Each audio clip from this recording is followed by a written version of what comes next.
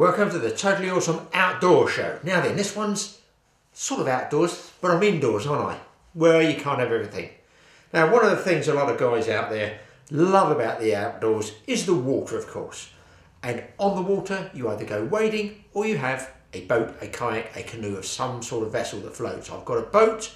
In that boat, if you do not want to sink, you have to have a bilge pump.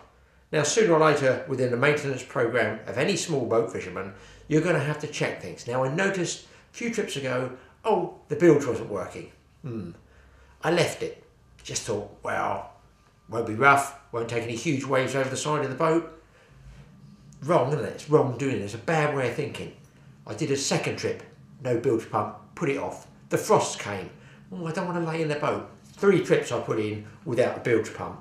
Now, that's kind of stupid, isn't it? But what I've done is I've been out, looked at the bilge pump because I thought mine is linked with a float switch. So it comes from the battery. And for those of you who don't know, if water fills up in the back of the boat down in the well, what's called the bilge, that's why it's called a bilge pump, a little float goes up like this and goes click, and that sends a power to the pump, switches the pump on, and the pump sucks the water out of the boat, fires it out through a tube, a hole above water level, obviously. I'll show you that in a minute. But of course, there's several ways of, of, of doing it. I have heard of them being just linked directly to a switch at the dashboard. So you just want to pump the bilge out, click, that's fine. You pump any excess water out that's down there. But my problem is I trail my boat a lot. Now, while it's out there stood on the chocks, I undo what's called the bung at the back, which is the total drain of the boat of the bilge. I take that out and I jack it up at the front like this just a touch so that any rain that comes in, I mean it's covered with tarp anyway, any rain that comes goes down the back, down into the bilge and just drains straight out of the hole. That's fine, so almost in that situation no need for a bilge pump. Now then, when I'm trailing and I'm fishing for a day's fishing, obviously I leave the bung in, I don't take it in and out all the time. If I'm fishing, say, two, three days in a row, just leave it, put it on the trailer, store it in the uh, whichever yard I'm in, you know, whichever marina I'm in. But the problem is, if I get a heavy, you know, thunderburst of rain, that's going to fill it up and there's going to be an intense pressure on top of my trailer. So, therefore, you need a bilge pump. If you're leaving your boat with the bung in for any length of time, it needs to be able to pump rainwater out. Worse, if you have your boat on a floating mooring or at a marina pontoon, you obviously have the bilge pump in all the, uh, the uh, bung in all the time, has to be, common sense, you must have that bilge pump working on a float switch because therefore if it rains again, heavy rainstorm, it fills up, you're not going to be there to flick the switch to pump it out. That's why I have mine fitted with a automatic float switch so that I can leave it, the float switch comes up, click, switch a pump on, pumps any excess rainwater out. There we go. I've had to purchase another pump. Now I've been looking at the float switch, float switch, float switch, thinking it was this problem was there. It's not. I want to take you guys out and show you some of the little tips you can have just to check those bilge pumps. You need it, and do you know what? In a weird scenario, it could even save your life. Let's get out on the boat. First thing I'm going to do, bail out the bottom of the bilge, get a sponge, get all the water out. I can get to the screws on the float switch, and I can see what's happening with the pump. Maybe I can find out what's blocking it up. Well, I'm just going to squeeze down here, use a scoop here and a sponge, and just sponge out the very last of that water that's drained in the rainwater because even though I got the bung out for standing on a trailer for rain you will still get some that's going to filter through. So it's best to work with a dry bilge and I can see already do you know what's in a little bits of fishing line little bits of snipped off fishing line? And that is always a classic case of blocking bilges and a lot of British charter fishermen will probably tell you indeed uh, I'm sure charter fishermen around the world suffer from that problem for bits of fishing line going down, blocking up the bilge. That could be my problem. Now what I'm going to do now guys, I've taken, I don't know if this is going to work or not. Just wanted you to see the bilge down here. So I'm going to use the light off the big camera, the little small camera and the sound off the big camera and I don't know if this is going to work or not you're going to see. I just wanted you to see the bilge and this camera the small one is like 170 degree angle on it so you might be able to see it and I use the floodlight off the big camera. There's my two batteries over there. It's linked from I didn't fit this one up myself company fitted it up for me and I can see already there's no inline fuse which they say put a two and a half amp inline fuse to the pump. Now this is the existing pump it's all cleaned out I'm hoping you're seeing this I can see that this you know this area here there's my hole and you can see that down the back there's the bilge hole the drain plug hole that we normally obviously you have to have that filled up and blocked up with a special plug uh, just called the bung traditionally so the water can't come back in. But when it's on a trailer obviously you take it out so water can drain out. But as you can see just there's about an inch to the bottom of the bilge. Now bilge is the lowest point in the boat really and that's where all the rubbish goes and muck and you can see down here there's bits and pieces. I've already got fishing line out of there. Now there's the pipe that goes out that is obviously connected to the pump. Normally I've disconnected that. I disconnect the float switch. Now here you can see the float switch there. And then what happens is you can hear it click just like this. The float actually moves as the water fills up in the well. It pushes that up there if you can see that. Click. That sends a direct current to the pump when it's drained down we can hear it. Off so that's on and off. Now the reason you would say well why are you changing the pump Graeme? The reason I'm changing that pump is because hang on one moment it's intermittent so it's sticking. So what I've done is taken this out. You should disconnect everything when you do this but I wanted to just to show you. There is like the impeller that sucks the water out and you can get bits of fishing line just in there just in that in that little join there but where the pump runs. So I'm going to change the pump anyway but what I feel is blocking this up two things. I use shark fishing oil and I have given this pump a bit of a clear up but I think there's oil in there but there's a very very fine residue of blue paint particles. And you can if I put this down hopefully can you see those? Let me get that light up. Maybe you can see the blue particles of paint here just there. Now I feel that's what's going to probably burn this motor out eventually and that's what's making it stick because I painted my bottom of my boat I normally have a special non-slip deck paint that is actually grey and it was really good. It's got a grit that you mix in with it but this time I used a different one.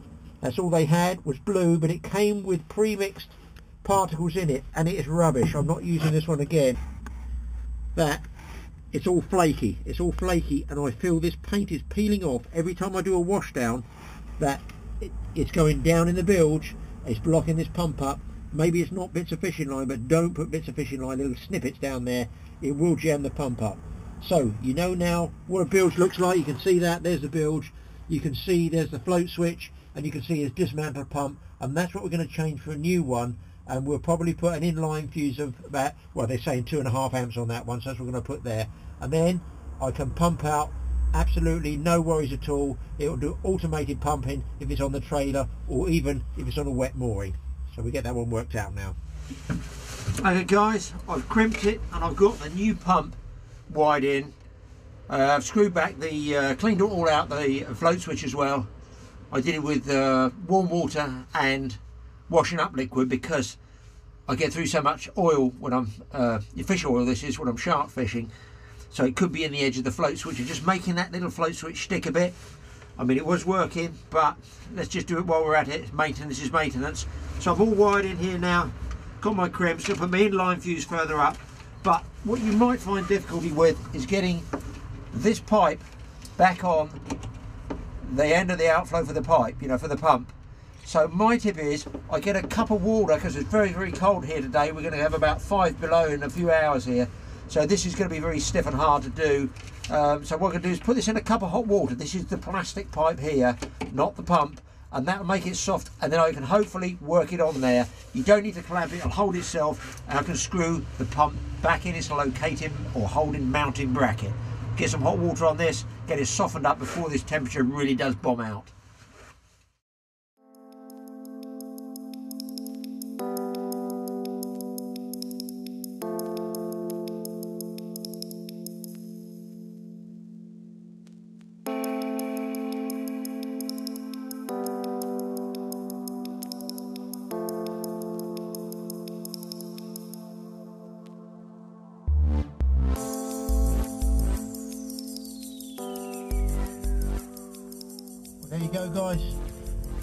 I don't think as many people have crawled down a bilge with a miniature camera and a light just to show you, you know, what a small boat uh, bilge and float switch looks like. But it's finished now. I'll just move the light around. Hopefully you got something there. And you can see that pipe is on the uh, outlet of the pump nicely. It goes right back up over the back, over the back of the batteries, up the side of the boat. I'll show you on the outside of the boat. The float switch is now screwed down in place. Now, something you should be aware of, I know it sounds sort of idiot-proof. Let's just see if I can balance that camera there. You can't just drill these and screw them straight through the hull. You will be filling up with water even faster than the pump can pump it out. Make sure that you have wood mounts and use marine silicon to glue those to the actual hull itself and then make sure that the screws you use aren't longer and go through the wood and the hull as well. They only want to be short of the wood itself. I know it sounds incredibly stupidly common sense, but you know that's the way it needs to be in a boat. You need safety and you need everything to work. All I need to do now is just wire up over there, finish wiring up the two batteries, and it is hopefully job done. What I'm not going to do is I'm not going to fill it with water and flush the pump. I'm just going to run it dry. It's okay can run dry just for you know a test because I want to strip this floor off, get rid of this awful blue non-slip paint they've they've sold me and said was okay and it's not, and go back to the grey. And I want to put the grit in it on myself, the non-slip particles that they put in to give you grit. I want to do it myself. That was much much better. I won't mention the name of the paint makers, but you know, very very well known. But this blue stuff is absolute. Yeah, it's it's not good. There we go, guys. New bilge pump fitted, and batteries over there just going to be wired up, and we're all done. Hope you enjoyed it. Um, I've got a couple other tips I'll show you just inside, but I want to get this done now because it's getting very, very cold out here.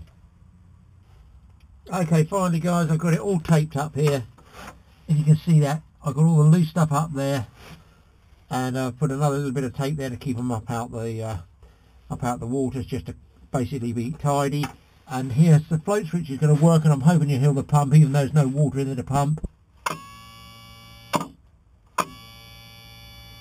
Should be able to hear that that is actually now functioning back in working order.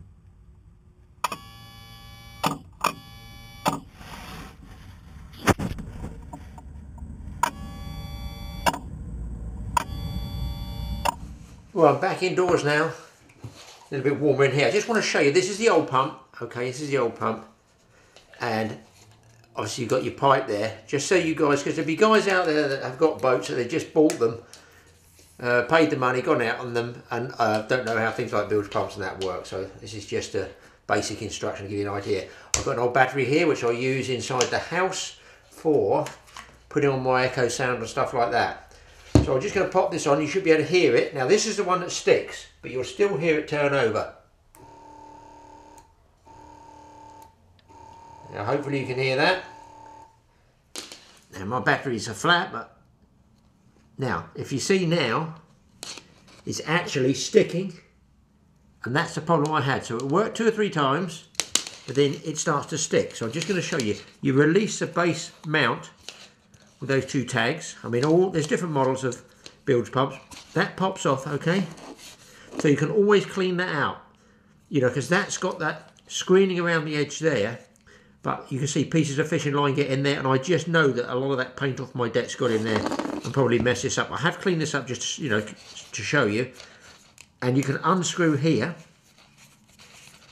Obviously do this when it's all disconnected the power on the boat. It's got a rubber seal that I should be able to pop there. I don't know if you can see that rubber seal around the edge there. So there, we're going to call it propeller. It's a little impeller, which actually sucks the water up and pushes it out through that hole there. Comes out through there, so you know how it works now. At least it gives you an idea. Now, whether that one's going to work, because I've actually moved it with my finger, I don't know, but I just hope it will, and at least it'll show you roughly there we go. It's alive. It's alive. if it will stand upside down, and then you can see this. But I just can't afford to leave this one because, look, you think, there, it's stuck. Now it's stuck. I'm touching it on and off. Okay, so this is why I've changed it because I'm going on and off the terminals. Nothing. If I give it a little move, it should. There we go.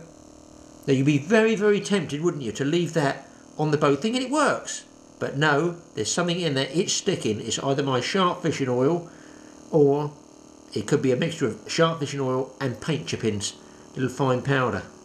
So I'm afraid it's got to go into the bin. Now, now I'll try and start it again. No, it won't have it. It's got to go in the bin. You've seen the old pump stop and start. Finally, I just thought I'd show you, in case anybody says, what's an inline fuse? That's the inline fuse. So that stops it burning out. Should it be going all the time, and it does, you know, it's a possibility it might overheat and burn out, who knows? Worst case scenario, it sparks, goes into flames. When I measure it's about 15 inches from 50 litres to 25 litre fuel tanks. So maybe having a fuse in there is good. On this particular model, always read the instructions with each one. They may well be different. It says drop in an inline two and a half amp fuse. Now that's the holder it's in. It's not going to be waterproof. It's going to be sort of spray proof, I guess. It's a rubber sealed tight one.